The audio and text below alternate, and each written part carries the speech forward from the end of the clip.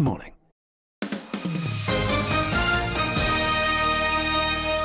Welcome back. Giles and Camilla are here discussing more of today's top stories. Uh, Giles up in Edinburgh.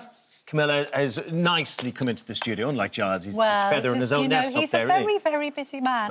Very lots busy. on, lots on his agenda. Filling out, filling out stadiums. Indeed he is. Stadium He gigs is up there. Um, Camilla, I've got a story here that I would Yes. love um, uh, your little view on. Now, Harry and Meghan buy film rights to a romantic novel, and Harry and Meg- Meghan have reportedly bought the rights to the romance novel Meet Me at the Lake by Carly Fortune for an estimated three million Yes. pounds.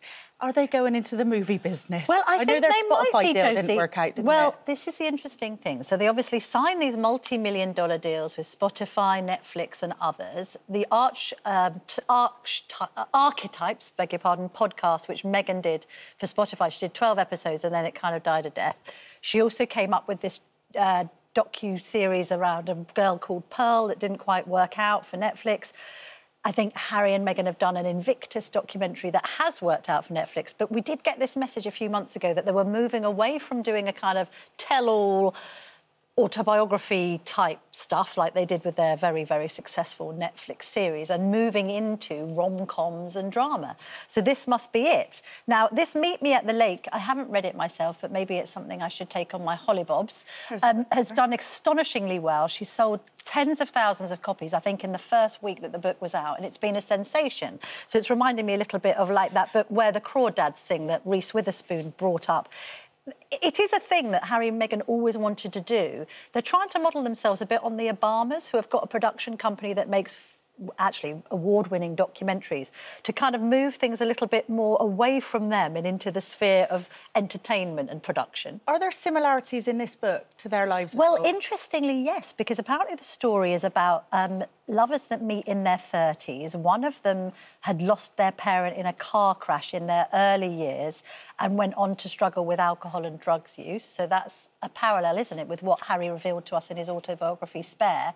It's a bit of a reinvention. I mean, we've been talking for some time about a kind of Harry and Meghan nascence because they're having to regroup a bit since Spare. They were lampooned by South Park. Their popularity has tanked in this country and in America. They haven't quite made their mark. So is it now going to be a bit more of a behind the camera rather than in front of approach? And it seems like it might be that way. You, know, you, you you should do what you know when you're starting off. yes. And if they find it a relatable story and something they can do something with, fair play to them. Yeah, fair play to I, I hope it works Yeah. out. I really do. They've had a pretty And they- hard time. They do know what they know about this because Meghan has been in the movie and television industry all her working life. So here is a story actually set in Toronto, which is where she was making her television series Suits. And this gives them a long term future because they can't go on uh, stirring around their own past lives. And this actually, if they make a successful TV series for Netflix, well done them. Yeah, Yeah. fair play. Good on them. Um, a hugely important matter now, Josie. It's, it's very, very important, and it's going to have the nation chattering. Um, I want to talk about boiled eggs, if you don't mind. Why yeah. not? Yeah, I mean it's. It's but all white with me. It's. Oh, there you go. must be joking. Oh, you are. Sorry, correct. it's terrible. See what I did then? Really I off went a bit personal. off. That is really yeah, good. Thanks for- Very good. Um, it's it's quite it's quite a nervy time, isn't it? Boiling an egg in the morning for a lot it of then? people. I yeah, feel getting that, it right. I- can I just say that I am a self-confessed egg obsessive. I love an egg. I think an egg is the most versatile foodstuff known to man. To get from a meringue to a fried egg, Magic. you can't name any other food that can make that transformation. And I sometimes think people overcomplicate eggs. Oh, you need to do this with the water, you need to cool it down, then you need to boil it. Oh, if you're poaching eggs, get some vinegar, you know, a shake of a lamb's tail. It's, it's not rocket science, this. Is it? Well, I don't know. I- I think who does know about eggs is our very, very own Phil Do Vickery. you know, I bet, I bet Giles, though, has a very, very elegant way of boiling an egg. I just have. I Oh. do. Oh, I do, and I'm ready for this. Eggs have been part and parcel of my life for many, many years. Indeed, as I've perhaps have told you before, that years ago when I was a young actor and played the part of Hamlet, I was so bad the audience actually threw eggs at me. And I like to say I went on as Hamlet, came off as omelette. But here I am in Edinburgh, and I'm living like a student in a little flat doing my show on the fringe, and I have a boiled egg for breakfast, lunch, and tea. And I boil it in my kettle. That's all I do. I have a kettle here, I boil it. I have my egg, okay? And I put my egg in my sock. Okay, you take the egg, oh. you pop it into your oh, sock is like this. And then you, low, you boil the water and you lower the egg into it. You see, by lowering it in there, there you are, you see, that's how you cook it. And so you, you, will be able to retrieve the egg afterwards when you have boiled it. You're wrong and you one, Brandreth. You're wrong one. Exactly for three minutes, which you time on your mobile phone. Alternatively, So that's how to boil a perfect egg. One kettle, one egg, one sock, and one timer. And do you know what's Or really just- bad? He does a poached egg in his undies.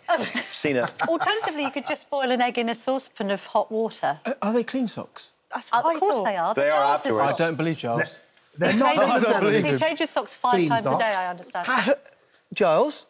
Adds, they don't have to be clean socks. They add a little richness, a little flavour to the outside. And, and also, they're, they're still in the shell at this stage. I don't have, in my flat, there were no saucepans. All there was Oh. was this kettle. Uh, this kettle, I brought my own socks and I bought the eggs down the road. And I have to tell you, it's really tasty. And you don't need more than three minutes. Fine. Right. This is your territory, Phil. Right. Tell us. When you cook a boiled egg, it's very simple. It depends how far you are above sea level.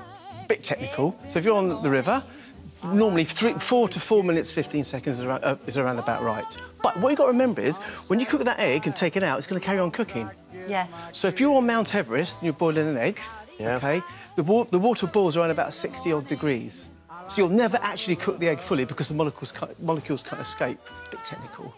But generally speaking, what I do is I make a, a, a small uh, little dent in the, the, the flat side of the egg, which is where the air sac is, because that's normally where it expands and breaks. Simmering water, four minutes. Now I'd then take it out and leave it. If you make your toast Yeah, a tiny little dent, like a little crack. little crack. So here, I've got this little machine I'll come on to in a second. What you do, at the flat end, and this has got a little tiny, see that little My tiny? mother used to have one of those. Oh, It's and an egg that's- pricker, effectively, Josie. Let's go. Is a go. Never now, heard that in my then, life. and then into simmering water for four minutes. Take it Very out. satisfying. Take it out and just let it set for a couple of seconds. Now, if you're going to make your toast afterwards, the egg will carry on cooking. So you need to make sure you just get it about right. Now, the best bit of cooking equipment I ever bought in my life is one of these. Ooh. This is an egg cooker. I got so one. You, they're brilliant, aren't they just? brilliant. So you make the hole in the egg, you put the eggs in here like this, like so. You then, might as well little thingy, on there you'll just see it says soft boiled, hard boiled, whatever. Put your water in there. Okay, got that? Yeah. In that goes, lid on, and it turns itself off bang on. Every No, time it doesn't. they are absolutely perfect. Works. What Now- sorcery is this, Phil? well, it's called just making it damn sight easier. But these are some four-minute eggs I cooked recently. What, recently, a couple of minutes ago. That one's easy. Up another. How long, Alice? Is that one? 20 seconds. Oh, 20 seconds. We'll come back to that one. These are the ones I did for four minutes to let them But rest. they have been left. How long did you rest them for? Well, I put them in cold water to stop them cooking. Ah, ah, that's the trick, is yes. it? Now, if you make hard-boiled eggs, put them in cold water and run them for a couple of about five minutes. You don't get the brown, of the black. Can, when chefs make eggs on meals in posh restaurants, do they keep them runny by doing the cold water trick? Yes. Put them in Oh, cold water. wow. That's how you stop it. That is So that is four minutes, and you have to have Yes. Marmite. Oh. When my kids were growing up, Marmite and butter, we had them every day. And that is your, look, Nice. that is your perfect that looks four minute. good. Now, just to show you this one here, this is one we just cooked while we we're looking, just to show you. See that one there is slightly undercooked, as you see. Ugh, But, What's wrong with but. Craig, you Can't even that look at that. Do you not like Right. eggs? Oh, the white bit's going all stretchy. No, Yeah. no. Here's the point. Leave that for about two or three minutes and like that one there. So you Reckon? take them out before they're cooked, and the residual heat finishes them. Let's the lid back on that. Phil Vickery, brains No, and brawns. no. How long have you been a chef, Phil? How long have you been Uh, a chef? 42 years. Your best moment on television, that? Boiling an egg. And yours? Oh, thank you so much, Phil. Thank you. Pleasure. Uh, Absolute perfect, pleasure. Perfect eggs. There you go. Uh, competition time now.